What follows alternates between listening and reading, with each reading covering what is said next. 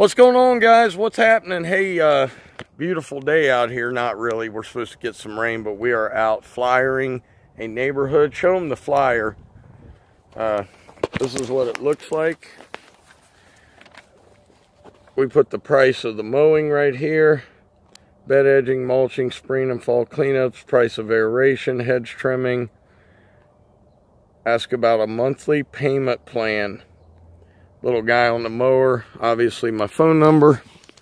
That's how we're doing the flyers, nice, easy, easy to read. If they want bed edging, they can call, mulching, things like that, hedge trimming. Um, these are basically small yards. All the bigger yards we're going 50 and up on. Um, so, hey, what are you guys doing to get ready for the season? I know a lot of you are working on equipment and a lot of you guys are already working. I, I know some people have cut some yards already, which is crazy, but this year is crazy. We're going to be out aerating this Friday already uh, as far as the weather is conducive to it. But uh, hey, we're going to pass some flyers out. We've got a huge neighborhood here. I went and bought 300 of them this morning, and uh, that's a good start. We'll probably buy another 300 to 800 because uh, we've got so many different areas we want to hit. But hey, guys, let us get to work. We'll talk about some things today, and uh, it's just basically going to be a talking video, but you know, about what are we doing to get ready for the season. Um, obviously, you know, I bought the mowers. Uh, we will be going over those mowers this week when we have a chance. Um, supposed to get rain tomorrow, so we'll be working inside, so I probably won't do a video tomorrow. Um, other than that, I'll show you some of the houses in the area. Not huge, pretty nice.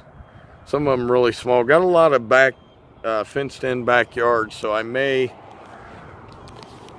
end up picking up a uh, Toro Time Master or something, but we'll see. Hey, let's go and uh, I'll be back. All right, guys, so we're back. We're uh, doing these little, little houses here.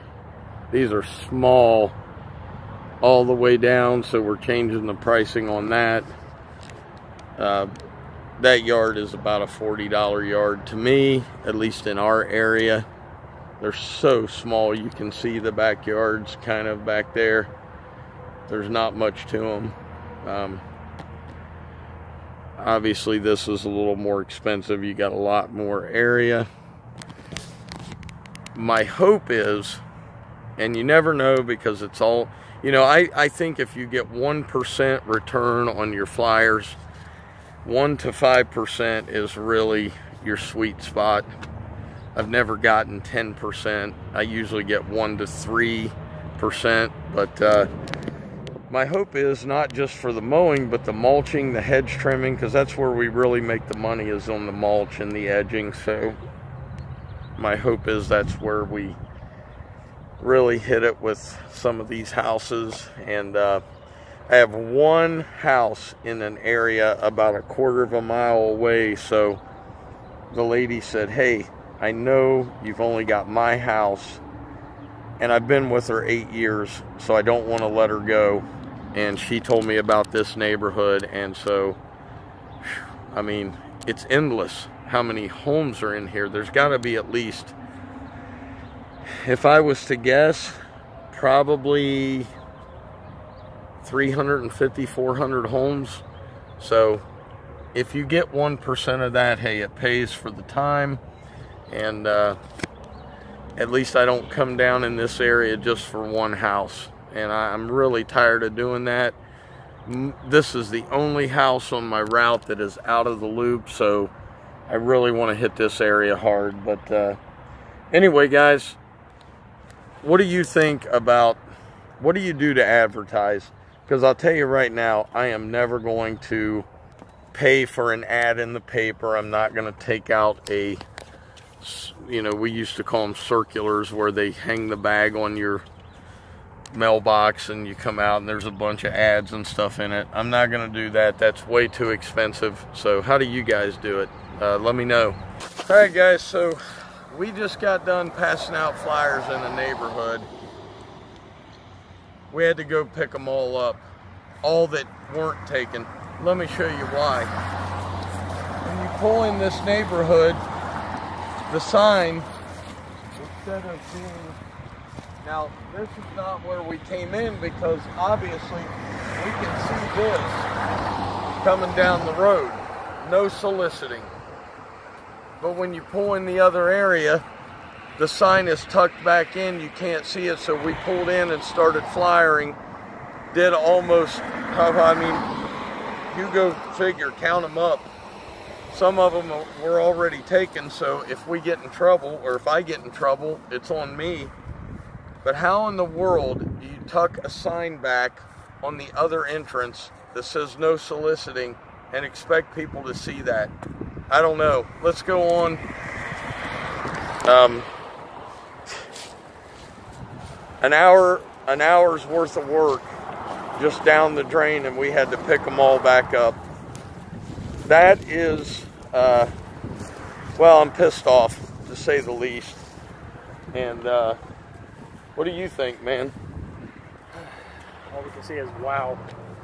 And we both made the joke on our way out. We said, wouldn't it be funny if there was a no soliciting sign? Sure enough, there's a no soliciting sign. Un. Yeah.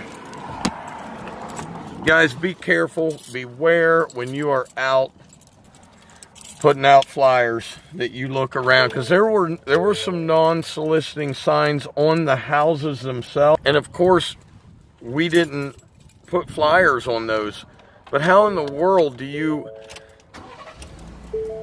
I mean how do they expect these people to get services if you cannot solicit by putting a flyer up how in the world are these people going to get taken care of I don't know. You tell me.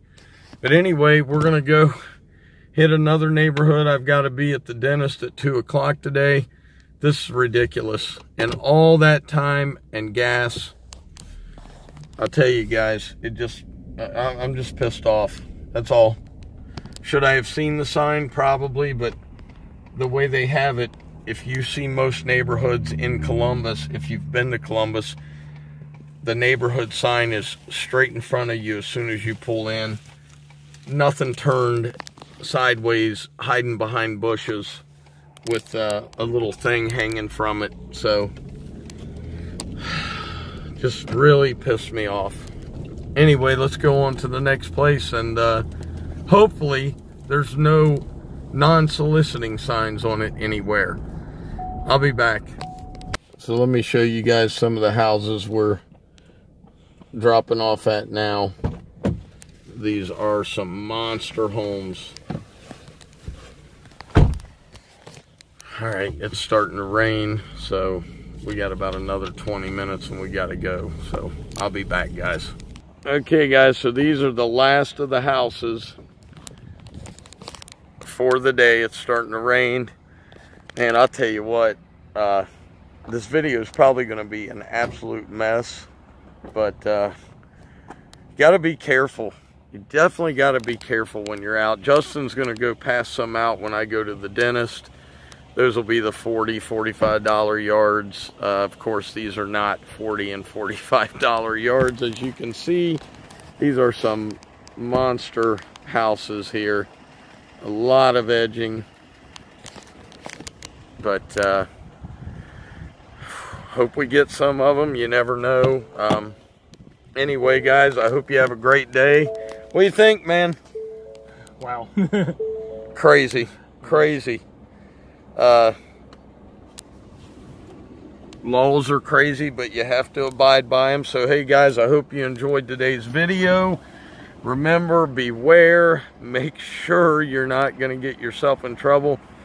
And I'll keep you updated on whether I do get a call from anybody about those because I know we didn't get them all.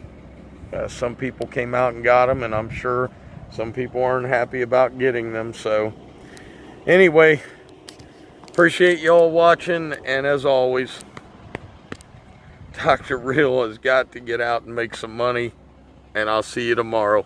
Peace.